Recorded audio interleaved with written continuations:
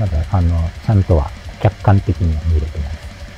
まあ今まで以上に濃いアルバムになったというのはわかります。昔のディラン・グレイを好きだった人たちに聴いてもらいたいかな。なんだろう、もちろん新しくディラン・グレイを好きになってくれた人にも聴いてほしいし、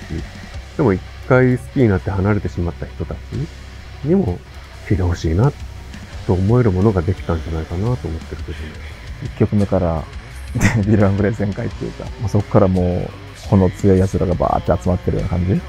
とりあえず子が強いっていう。まあ、また、ハードルを上げてしまったかなっていう。